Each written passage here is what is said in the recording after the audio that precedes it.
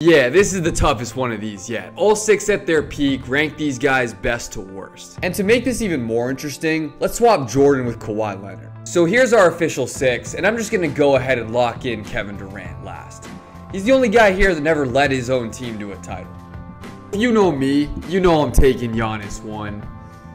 It's impossibly close, but like Giannis is the closest thing we've seen to Shaq. But trust me, the greatest offensive player ever isn't far behind.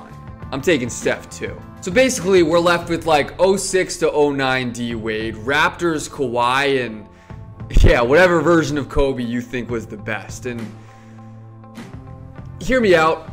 We're splitting hairs here. These guys were all dominant scorers, but D Wade was the best playmaker and Kawhi was the best defender.